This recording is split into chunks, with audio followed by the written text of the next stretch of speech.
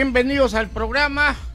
Soy Pepe Maeda Asensio. Hoy invitamos al ingeniero Luis Reyes Carrasco, pero antes la sorpresa, ¿no?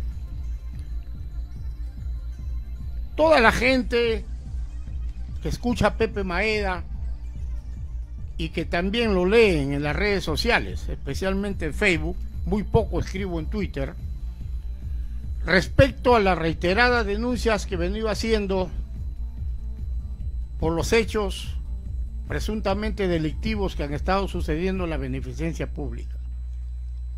Pero al tocar estos hechos, al parecer, ya se ha venido investigando la gestión de directorios pasados. Y en la mañana de hoy empezaron a capturar a lo que la fiscalía encargada de este tema tipifica como presunta banda, los beneficiarios del norte, algo así. Y lamentablemente, lo digo en forma personal, ha sido detenido el conocido neurocirujano, el doctor Carlos Uriarte Núñez. Hay que recordar de que don Carlos Uriarte Núñez fue presidente de la Beneficencia Pública en gestión edil pasada. Eh, lamentamos eso, y lo personal lo lamento porque ha sido mi médico, me trató de una de una golpiza pues que recibí hace muchos años con una suturación que él me la puso de 27 puntos aquí en mi cráneo. Gracias a Dios estoy así como ustedes me ven. Decía Uriarte que mínimo iba a quedar paralítico. Pero lamentamos, pero a la vez también como periodista, asumiendo, y el único, lo digo así, a pecho abierto y a voz alzada, el único periodista en la región que viene siguiendo los pasos de la beneficencia pública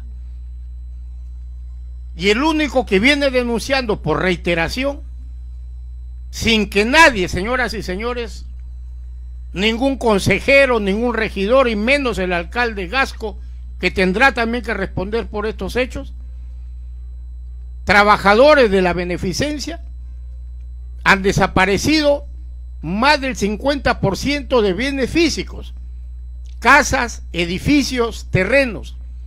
Y precisamente por un terreno que se supone iba a ser un cementerio, se descubre que esta banda delictiva habría vendido a un ciudadano italiano un terreno propiedad de la beneficencia pública que sabido es no se puede vender los, las posesiones y las propiedades de la beneficencia pública no se pueden vender, no se pueden enajenar. Entonces, ¿qué pasó aquí? El terreno habría sido pagado en más de un millón de dólares en la gestión de Carlos Uriarte Núñez. ¿ah? O sea, así no haya sido el que tocó un sol, pero ha sido durante su gestión. Difícil, claro, es creer que un médico con tanta reputación positiva esté metido en estos problemas delictivos. De hecho, que ya le malogró la campaña al reiterativo candidato a todos los cargos, su sobrino el arquitecto Uriarte. De alguna manera le va a salpicar el tema familiar, porque es hermano de su padre, el detenido Carlos Uriarte Núñez. Ahora, los hechos que vengo denunciando, como que el Teatro 2 de Mayo, poco más y se lo llevan en llantas. Han vendido todas las butacas que todos hemos conocido, los chiclayanos nos hemos sentado ahí desde las películas, ¿se acuerdan? De los años 70 y más atrás, de tantas presentaciones musicales y del prestigio que tiene o tuvo el Teatro 2 de Mayo por ser el único teatro en Sudamérica construido con materiales tradicionales prehispánicos como agarrobo, barro, adobe, etc., etc. O sea, no han tenido ningún remordimiento para levantarse cantidad de, de, de madera de pino báltico que iba a ser destinado iba a ser destinada a la restauración del Teatro 2 de Mayo. Lamentablemente las investigaciones van a tener que terminar con la captura y detención de toda una presunta banda que ya yo lo había dicho antes, hace más de un mes, estaría operando todavía en la beneficencia pública de Chiclayo. Hay muchas cosas, licitaciones manejadas, los que ganaron o las que ganaron las licitaciones habrían presupuestado con sobrevaloraciones, metidos ahí de repente hasta gerentes y miembros del mismo directorio y quizá hasta el mismo alcalde Gasco Bravo, porque se da el caso de que una señorita gana una licitación en la beneficencia y su hermana de padre y madre es funcionaria de confianza de Marco Gasco. Yo no sé si hasta qué punto se le pueda escapar el control a este señor calificado como el más desastroso alcalde de los últimos tiempos que ha tenido Chiclayo. Y a quien se le echa la culpa de un atraso casi de un lustro, de cinco años.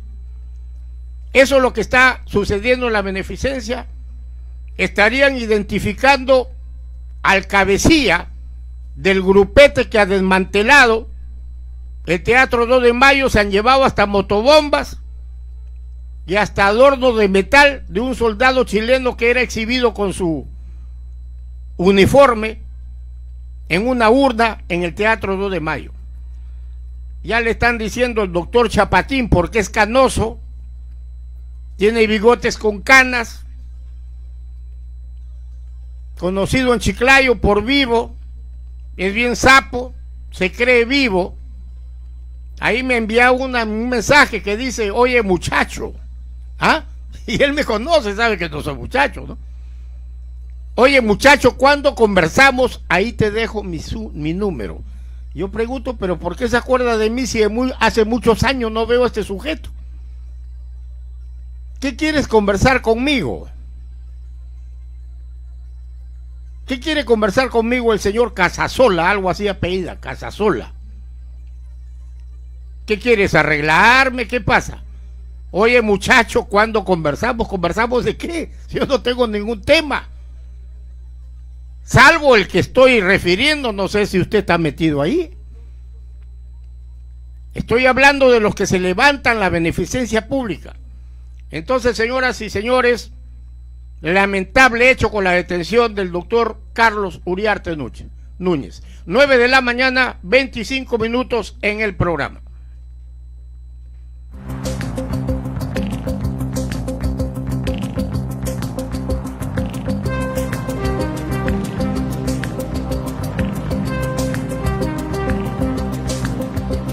Bueno, el abogado Wilfredo Chero Villegas reapareció hoy día en Radio Caliente. Bueno, la única queja que yo tengo de la entrevista es por qué mi amigo Javier Castro lo deja hablar solo, cuando hay preguntas que ha debido hacerle. El abogado Chero aduce que su caso ya está terminado. Algún abogado me dice que no, que él simplemente está gozando de un habeas corpus obtenido en Arequipa. Pero yo le he dejado a Javier Castro, que es mi amigo, el número. La dirección de la radio ya la conoce el señor Chero, yo lo estoy invitando. Y no lo invito a él directamente porque no tengo su número celular. Si alguien lo tiene, por favor, a mi WhatsApp, 96 658 1149. Bueno, ha salido con todo a denunciar los presuntos actos delictivos, dice, de los hermanos Ernesto y Clemente Flores Viches, y en especial el de Ernesto, quien le ha enviado una carta que el locutor de Radio Caliente ha leído por entero. Pero entre otras cosas dice Chero de que él es víctima de una mafia azucarera. Entonces, al menos yo le entiendo que esa mafia azucarera se está refiriendo a los hermanos Flores Vilches, a quienes le dicen los polleros, y todo el mundo lo sabe. Después lo he escuchado decir que él representa como asesor legal a Agro Pucalá. Ahí le faltó pues al entrevistador decirle, ¿y quién es Agro Pucalá? ¿No es Max Ayora acaso? ¿No es el remanente del clan que usted ha citado sin citar a los, a los cabezas? El clan sí. ¿Quién lo integraba? Roncal y Ernesto, que ya te olvidaste de Olivio Huancaruna. Huancaruna no ha sido el fundador del clan o no sabe el abogado Chero. O no sabe que Pucalá, con papeles o sin ellos, estaría manejado por Max Ayora, investigado tres veces por lavado de activos, o no sabe el jurisconsulto Wilfredo Chero Villegas. Entonces, ¿es usted abogado de quién? ¿De don Max Ayora? ¿De los que manejan y han quebrado Pucalá? ¿O de los trabajadores, señor Chero? Usted ahora viene a pegársela de perseguido, de víctima. Cuando usted fue abogado mío en una querella que me entabla Olivio Huancaruna Perales, yo pregunto, y como usted dice, porque es bien vivo, no me consta, ¿qué pasó, señor Chero? ¿Por qué le dejó indicado a su señorita secretaria que me devuelva la computadora con la que yo pretendía pagarle sus honorarios? Y nunca se apareció en audiencia usted. Repito, en el juicio que estuve con el señor Juan Caruna. Ahora es abogado de Agro Pucalá y se habla por ahí y como usted dice no me consta, estaría manejado por remanente del clan. No me consta, pero usted sí debe saberlo, puesto que usted mismo está diciendo que es abogado de la empresa Agropucalá. Muchas cosas tendría que preguntarle al señor Chero, porque se presenta como una víctima, acaso y con derecho, quiere limpiar su alicaída imagen pública, porque jueces, según él, vocales, vocales superiores, vocales supremos y hasta el Tribunal Constitucional se equivocó a ratificar una condena de cárcel efectiva contra este señor. En eso estamos indagando, pero qué mejor sería, sería ideal que usted mismo nos explique su caso, porque usted dice que ya se terminó. Y otros abogados me dicen, parece Pepe que no que simplemente está gozando de una libertad provisional. Entonces, señor Chero, el señor Ernesto Flores Vilches estará aquí en mi programa el día de mañana. Y vamos a esperar lo que hable Ernesto Flores, porque usted está diciendo que va a solicitar garantías personales por lo que le pase. Está usted hablando de ciertos actos delictivos sucedidos en Pucalá, que nosotros quisiéramos que se aclare. Por supuesto, ya he dicho, yo mismo he sido víctima de una denuncia por querella al aducir, de repente me equivoqué, de que alguien habría ordenado el asesinato de Arbulú, de Fernando Arbulú Roca.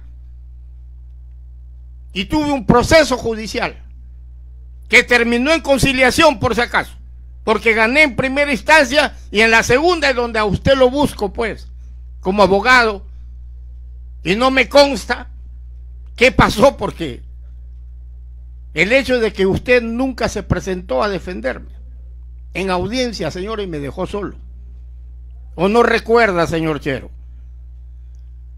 Como debe ser, el derecho de réplica le asiste, lo invito al programa, se ha despachado ahí más de una hora con mi amigo Javier Castro, quien no le ha hecho ninguna pregunta incómoda. No lo incomodaría yo, pero más que a mí, a los trabajadores de Púcala les interesaría escucharlo. Y qué pena me da como siempre León Segúsquiza, ¿no? interviendo, yo dije, este lo va a cuadrar. Oiga, salió a apoyarlo.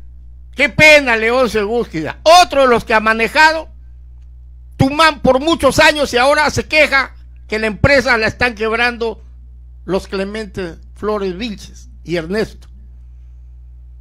Pero si León Segúsquiza también ha manejado en sus mejores años a Tumán y tiene cantidad de cuestionamientos también, como todo dirigente y hombre público, ¿no? Pero lo personal a mí me pena, Leoncio, que haya salido a respaldar a Chero. Sabiendo tú el movimiento azucarero y sabiendo tú quién es quién. Chero, para mí, y lo digo como accionista de Pucalá, sin recibir medio kilo de azúcar al mes ni, al día, menos, Chero no defiende a los trabajadores. Él es abogado, digamos, de la patronal. ¿O es usted, o aclárenme, pues, no me consta. ¿O es usted abogado de los trabajadores?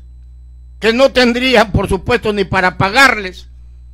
Porque este señor Max Ayora, al menos en las redes, es cuestionado como el que maneja los sueldos impagos ya por año y medio. Y la verdad es que nadie sabe de qué vive la gente de Pucalá, en especial los trabajadores.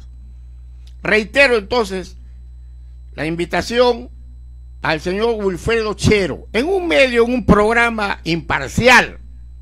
Porque el hecho de que el locutor no le pregunte nada, pues es llama a la duda. A usted lo dejaría hablar, pero eso sí, con las correspondientes preguntas, si fuera el caso. Bien, nueve y media de la mañana y antes de irme a comerciales, me da mucha pena Omar Zulca, esos que andan todos los días maldiciendo en el Facebook que Max Ayora, que la Max, que, que Olivio, a la hora de los loros, yo, y lo digo porque te he escrito, Omar, llama caliente y no lo has hecho. O sea que, ay, ¿cuándo es tu programa? O sea, cuando las papas queman, ahí sí llamas. Y como sabes que yo soy tu amigo, te puedo apoyar. ¿Quieres hablar aquí? No, pues. A los trabajadores y a los bullangueros de Pucalá, llamen cuando esté Chero ahí. O cuando esté Olivio o Max hablando, ahí llamen. No esperar que terminen y se van a, que mañana ándate a la... Mejor no te digo nada. Ya regreso con el ingeniero Luis Reyes Carrasco. Tú estás con Radio Santa Victoria. Más noticias, más, música.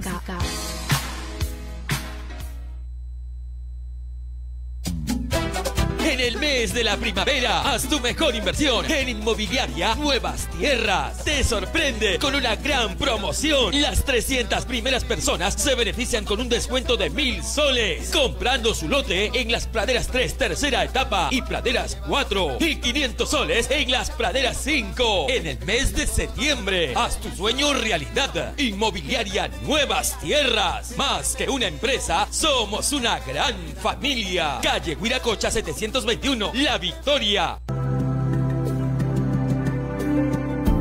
Centro Oftalmológico del Norte. Contamos con los mejores oftalmólogos para brindarte la atención que mereces. Ofrecemos lentes, consultas, procedimientos y más. Ubícanos en la avenida Luis González 668. Separa tu cita al 074 32 40 26. 074 32 40 26. Centro Oftalmológico del Norte.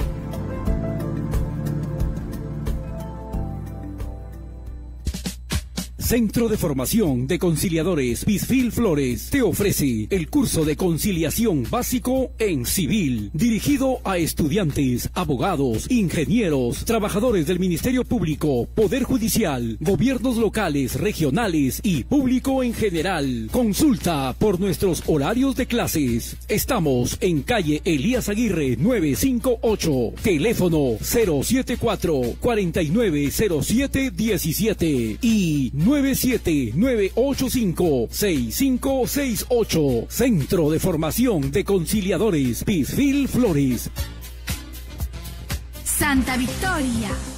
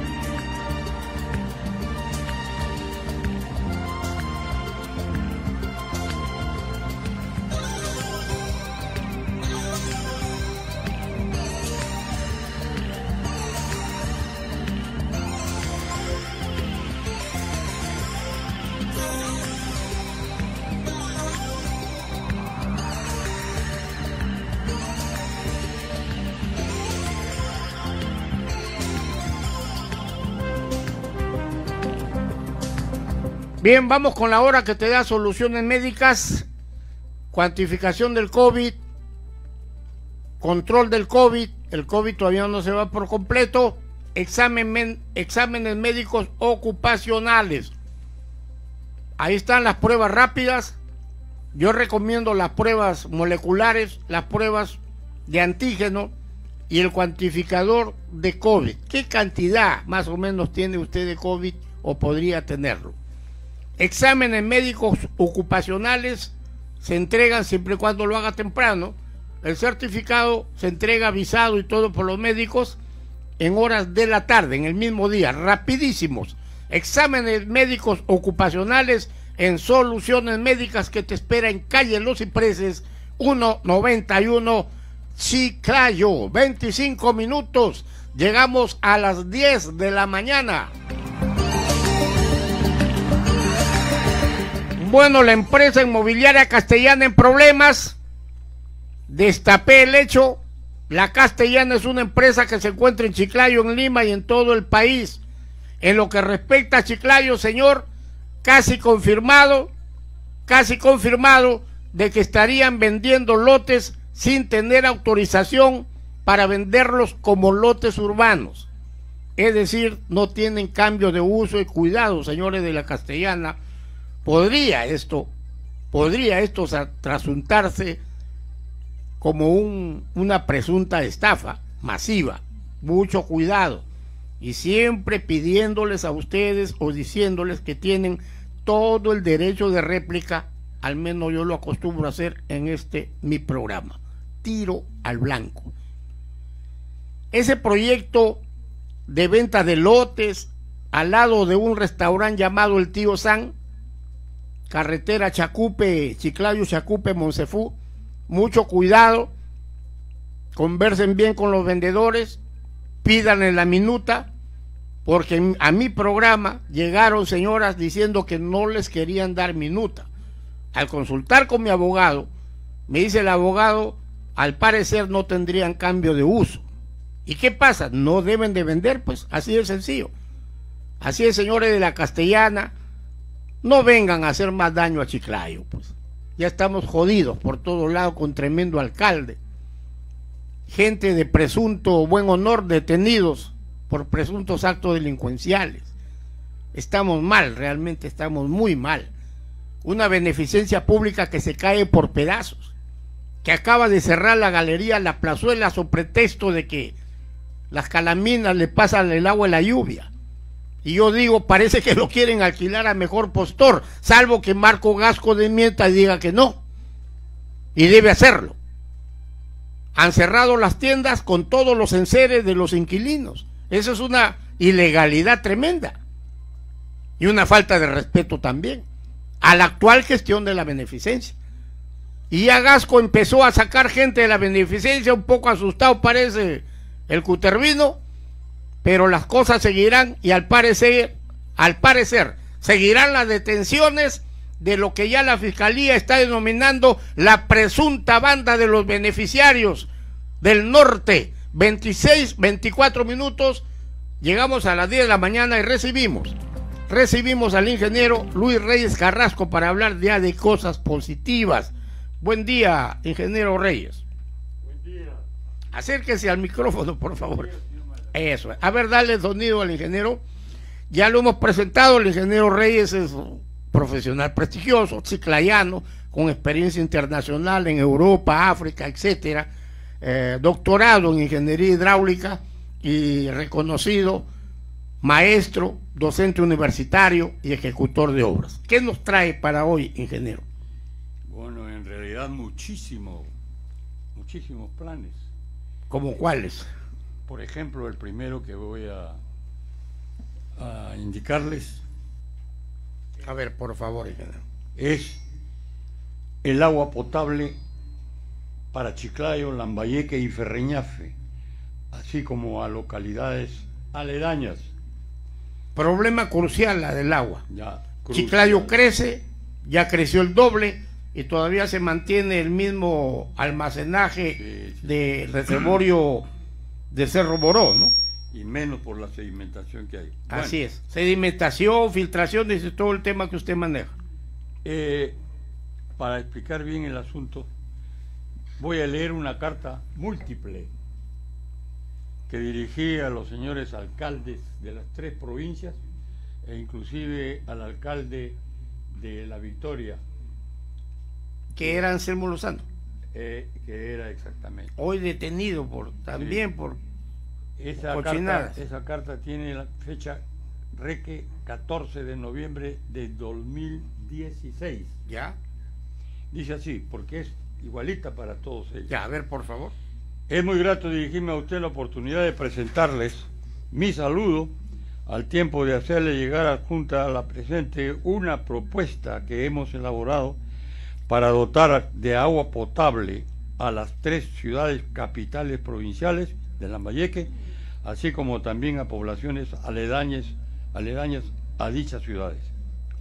La característica de esta propuesta es que requiere solo de un pequeño bombeo del orden de las de, los 10 metros desde la captación hacia la planta de tratamiento de agua, a partir de la cual se enviará por gravedad el agua potable a los destinos que se indiquen según las necesidades de las poblaciones a servir. Por otro lado, este servicio permitirá que las poblaciones dispongan del vital líquido elemento durante las 24 horas diarias y con las presiones de servicio necesarias. Para una optimización del servicio proponemos la mejora y conservación del volumen útil de las lagunas de presedimentación que actualmente continúa disminuyendo por falta de mantenimiento y corren el riesgo de la eutrofización, como ocurrió el año 1995, que llegó el agua podrida a, la, a Chiclayo. En la actualidad existen reclamos en cuanto al servicio de agua potable que presta EPSEL y que responde que eso se debe a la antigüedad de las tuberías de distribución, lo que no es del todo cierto, sino el origen se encuentra en el pésimo diseño de la red de distribución. ¿Está claro la cosa? Sí. Para una mayor explicación de nuestra propuesta, solicito una entrevista previa a una amplia exposición en el local, día y hora que usted tenga a bien concedernos. Estamos remitiendo copias similares a otras municipalidades. Atentamente, doctor ingeniero Luis Reyes Carrasco, registro CIP 3078, ingeniero vitalicio, etcétera, y domicilio, correo. ¿A quiénes le dirigí? Al ingeniero, bueno, aquí no es este ingeniero, David, no, David Cornejo Chinguel, sí, creo que era ingeniero. Sí, ingeniero industrial. Ya, entonces el proyecto. También, a ver, ingeniero. También dirigido al ingeniero Ricardo Vélez Mora Ruiz, alcalde de la provincia de Lambayeque, miembro de la Junta Empresarial como el de Chiclayo. Al, señor Jorge Ate Moche Orellana, alcalde provincial de Ferreñafe, miembro de la Junta Empresarial de Epsel, Chiclayo. Y también al señor Anselmo Lozano Centurión, alcalde distrital de, de esas cartas, ingeniero, según usted me dijo una conversación aparte, eh, empezando por Anselmo Lozano, no fueron contestadas. Ninguna de ellas. Entonces falta de interés de las autoridades. Sí, pero lamentablemente... O quizá el factor principal, ¿sabe qué, ingeniero? Pues de repente usted está un poquito alejado de estas cosas. Eh, las obras son manejadas. Sí, mire, y lo, lo más grave... Y sabiendo quién es usted, han preferido darle esa idea o ejecución de obras a otros con los que de repente eh, puedan arreglar, ¿no? Ah, mire, en realidad el señor Lozano Centurión, cuando fue eh, gobernador regional, me cruzó una invitación por recomendación de otro, un regidor, sería, ¿no? ¿Y para qué? Para la presentación de un proyecto de agua potable para Chiclayo traído por un señor ingeniero, no sé, Nisei, para hacerlo ellos, ese proyecto, un proyecto de agua potable. Y él ¿A, nivel de qué? ¿De municipalidad La Victoria? Región. De región ya. Ya cuando era... Eh, gobernador regional. Gobernador, ¿no? Y yo le envié cuando él era alcalde. Y ahora se sabe pues que a Anselmo no le importaba la región, más le importaban parece los negocios personales, al menos de eso es acusado. Eh, y incluso llegó a devolver erario al fisco, ¿no? Sí. Eh, también eh, le envié una carta parecida, dos cartas, con misma fecha, con el 23 de noviembre de 2016, al señor Rafael Aita Campodónico, a la sazón prefecto regional de Lambayeque. Lo que nos gustaría saber, ingeniero, aparte de sus interesantes cartas, es eh, la importancia de los proyectos que usted está proponiendo y en qué beneficiarían a la región. Mire, aquí también a la carta del señor Aita Campodónico le pongo esta propuesta bueno, le hablo del tren longitudinal de la costa peruana. Ese es otro proyecto. Es otro proyecto. Que esbozó López Aliaga quizás a su manera, copiado, porque nunca me respondió López Aliaga hace cinco días cuando le envié este fotos de su de lo que usted está proponiendo respecto al tren eléctrico, no ha dicho nada, ¿no? Claro, y las fotos que aparecen en mi separata no son las que aparece el, del señor este, López Aliaga. López Aliaga. Claro, no dice nada, no dice, eso, es otro proyecto, algo ha debido decirme. Ya, yo sí en las fotos que presento todas estas, este, eh, estas propuestas, las tomé yo mismo en Alemania y para mostrar la posibilidad de un transporte multimodal, porque digo, esta propuesta la del tren longitudinal de la costa peruana, forma parte de un conjunto de proyectos que he elaborado desde hace ya muchos años, tendentes a establecer en nuestro país un sistema de transporte multimodal que incluyen el marítimo, terrestre, fluvial y el aéreo mediante el uso de dirigibles, los mismos que pueden ser construidos en el Perú, con diseño de quién habla, o sea, mío. Ya. Por otro lado, en, base a experiencias que realicé el año 1968 en nuestra ciudad de Chiclayo, después de regresar de Francia, para, poder, para producir lluvia artificial, lo que contribuiría a solucionar el problema de las sequías, así como también luchar en la extinción de incendios forestales que se están presentando recientemente en varias zonas del Perú, incluyendo nuestra región. Para una mayor explicación de nuestra propuesta, solicito tengas a bien concederme una entrevista previa a una amplia exposición en el local, día y hora que creas convenientes dadas tus múltiples actividades. Aprovecho de la ocasión para renovarte la expresión de mis sentimientos lo mejor. Atentamente, Reyes Carlos. Una de las alternativas, señor. Nunca recibí respuesta. Ya, ya lo hemos dicho. Usted lo ha dicho. Una de las alternativas eh, que podrían solucionar uno de los más graves problemas y carencias de la región es el agua. ¿Cómo podría viabilizarse este proyecto? ¿Cómo funcionaría en la realidad ya ejecutado? Mire, hace muchos años ya eh, Epsel me fue a buscar con un emisario a Lima para ofrecerme la gerencia general de Epsel. Entonces al emisario yo le dije, no, muchas gracias. Yo soy ingeniero de diseño. Yo no soy para estar en el Palacio de Justicia por juicios que unos personajes que pueden, que no saben utilizar sus desagües, se van a y heredar todos los juicios que todos los casi todos los funcionarios dejan, ¿no? Así es. Y le dije, no, no, no, muchas gracias. Dice, pero entonces se puede usted ocupar del plan maestro. ¿Y eso qué cosa es?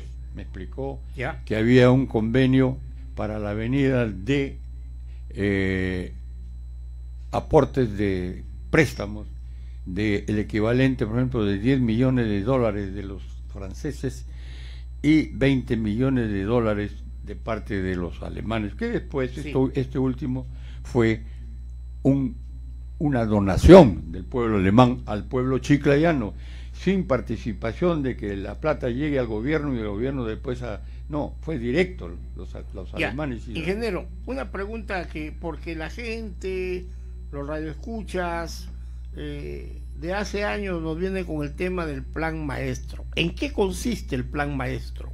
Bueno, dotar... En, así, un dato general. No, eh, eh, proporcionar el líquido elemento en las mejores condiciones, mejores condiciones, así como también los desagües, etcétera.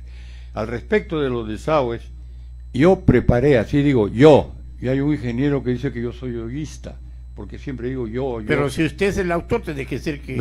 Pues, no, va a decir que yo, yo preparé unos términos de referencia para hacer un concurso en la que participaran solamente empresas de reconocida capacidad técnica, económica y financiera. Perfecto. Para la, evaluación de los desagües. Parece que ya durante el gobierno de Arturo Castillo se planteó el plan maestro con la cooperación técnica alemana.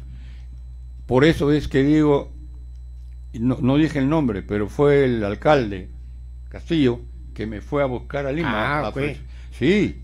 Pero yo creo que estuvo acertado Castillo. Bueno, chiclayano. Y, claro, chiclayano. Y, trabajó para Chiclayo, fue una, una anécdota. Bueno, entonces él me hizo dos cartas. Una para, para, cada, para el embajador francés. ¿Por qué?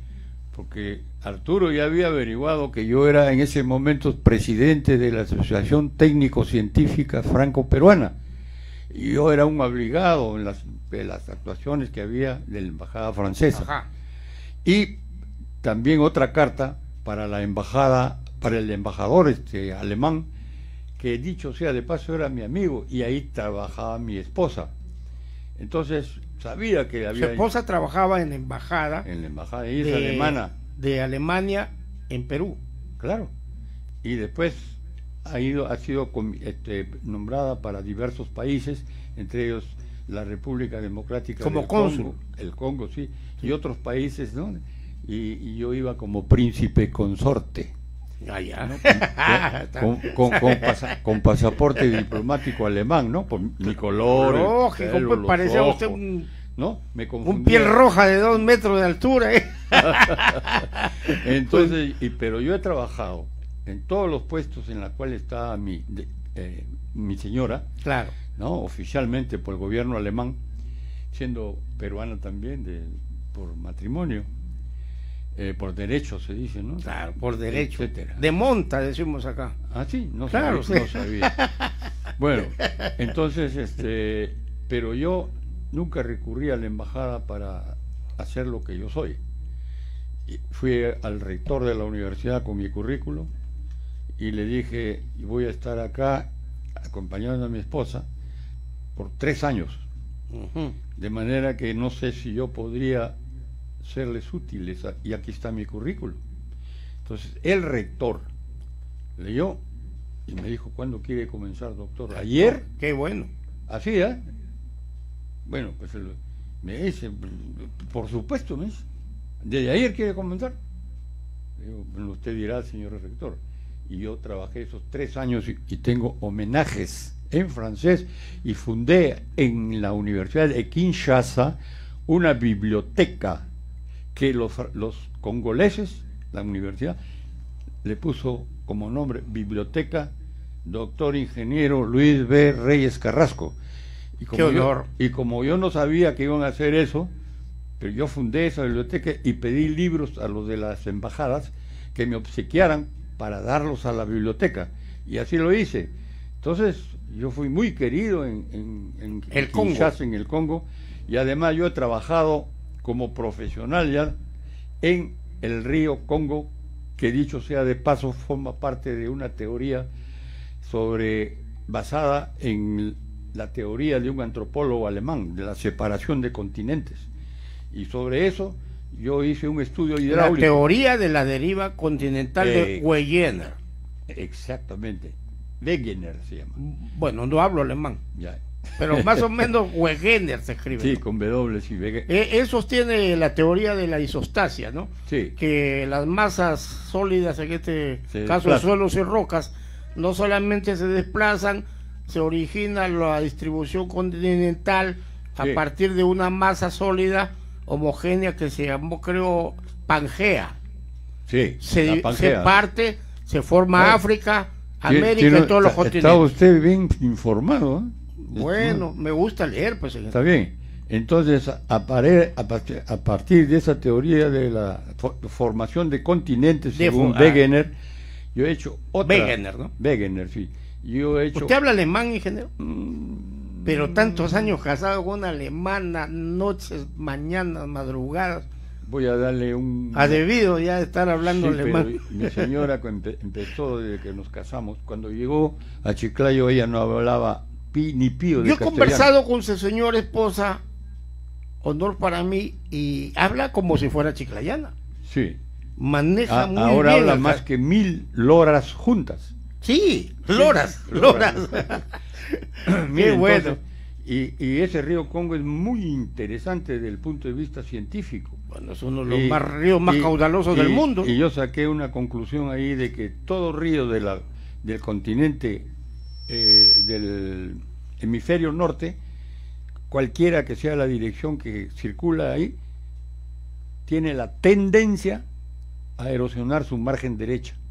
Mm. Y en el hemisferio sur sucede de que todo río, cualesquiera que ¿Y sea... por qué sucede eso? Ah, la de- la- El, el río La Leche, por ejemplo, yo he hecho esa observación al doctor Chimada, me dice, tiene razón. ¿Por qué el río La Leche cada vez que viene lluvia se desplaza de sur a norte? mire, Y ahora amenaza las huacas que antes estaban a 500 metros, ahora están a escasos 100. puede leer mi, mi ponencia que presenté a un congreso internacional en Lima y la aceleración de Coriolis. Ah. Es largo de explicar, ¿no? Ya, sí. Entonces, y yo he aplicado ese principio. Es principio hidráulico. Sí, yo he aplicado, yo mismo, eh, encontré esa, esa que la erosión de las riberas depende del río y son más sensibles, ¿no? se pueden ver mejor en grandes caudales. O sea, es visible, más visible en el Amazonas, El Congo. en el Congo, en el Marañón, Ucayali, Marañón, claro. etcétera, etcétera, todos los ríos. Con grandes mundo caudales, con grandes caudales, ¿no?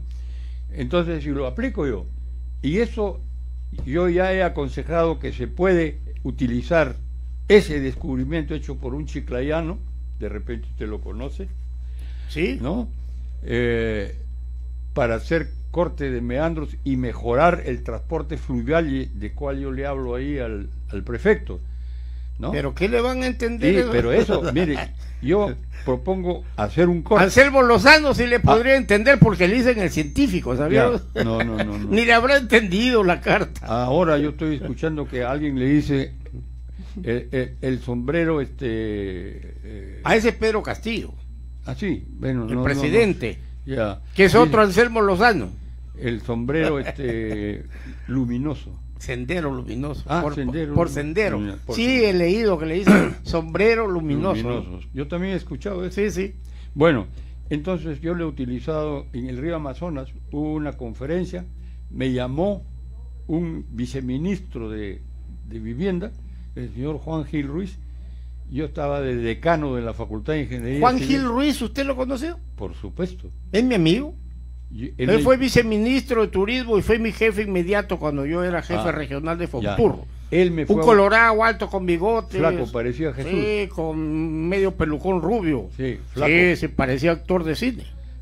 Resulta que... él- Guanuqueño. guanuqueño. Él me fue a buscar a mi casa, ayer vivía en La Molina, Tuvo poder, ¿ah? Sí, por supuesto. Sí, me, sí. me dijo Lucho Reyes, sí. Nos saludamos y yo sabía que pertenecía con el saludo a una cierta institución muy buena, universalmente Sí. conocida. La del triángulo y, de- y de- Entonces, y el este, compás. Exacto. Entonces me dijo, Lucho, me han recomendado que te venga a ver. Tengo un problema de una central hidroeléctrica y tengo que devolver. El presidente Belaunde me ha nombrado recién presidente del acorde De Huánuco. la hunde, sí. Del acorde Huánuco. Él era belaundista. Sí. Y me dice, mis hermanos de acá de Huánuco me han aconsejado que te busque a ti. ¿ya? porque yo había dado conferencias y soy uno de los de, propuso un convenio que después la creación de la Universidad Nacional Hermilio Valdizán, la Facultad de Ingeniería Civil Mm. de la Hermilio Valdizán De en Huánuco. Y yo fui Él fue prefecto ahí en Huánuco. Eh, no, Juan pre- Gil. presidente de la Corporación de Desarrollo de Ah, Huánuco. era las Cordel, acá era Corde- Cordelán. Allá era Cordehuánuco. Acá estaba Vaca en esa época. Sí, entonces yo tuve que pedir, eh, después de eso, eh, licencia sin goce de haber en la UNI para irme a trabajar en Huánuco. Y ahí hice firmar un convenio entre la Facultad de Ingeniería Civil y la Corde Huánuco para el desarrollo de proyectos a cargo de bachilleres en Ingeniería Civil con un asesor de la UNI ya para hacer trabajos que propusiera la, cor- la Cor de Huánuco. Pero la obligación era de que yo tenía que supervisar al asesor de tesis y a los alumnos para evitar que a dedo designen a los alumnos, porque iban a recibir un Claro. estipendio y, y- y el costo de la- las tesis que perdía. Y la selección del asesor de tesis, a ver si tenía la calidad Ahora, eh, para... ingeniero, eh, bueno, eh, es interesante para mí, aunque consciente estoy de que cuando tratamos estos temas, eh, simplemente llegamos a la gente que se interesa por los mismos. El común de la gente está muy lejos de, esto, de estos temas, la terminología, pero aún así yo creo que vale escuchar a un profesional de tanta experiencia y tanta sabiduría en la ingeniería como usted. A saber, y hay que decirlo, que el colegio de ingenieros le cierra las puertas al señor. La Cámara de Comercio está manejada por quienes se oponen a que el ingeniero entre a tallar.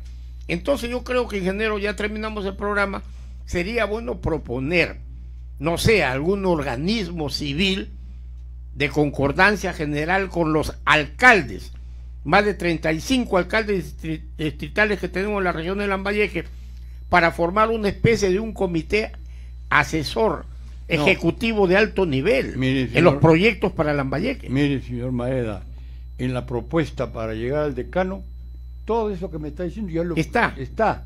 Y mucho más. Y yo quisiera, sería bueno, Ya. sería bueno que cada uno presente las propuestas y que haya un concurso de oposición y méritos. Mire, vamos a apuntar este tema. Ese tema lo vamos a tocar, si usted gusta, en específico el día lunes. Mañana no, porque es viernes, ¿no es cierto? Ya tengo programa. El lunes le parece para hablar sobre, Esto. ahora sí, ah, la propuesta del ingeniero Carrasco, que sin consultarle la estoy haciendo en paralelo, de formar un comité lejos de esas argollas que manejan el Colegio de Ingenieros. Gracias por la visita, ingeniero. Le tomo la palabra para el día lunes. No, hay que A ser la- y directos y fuertes. Muy bien, Calichín. Hasta mañana.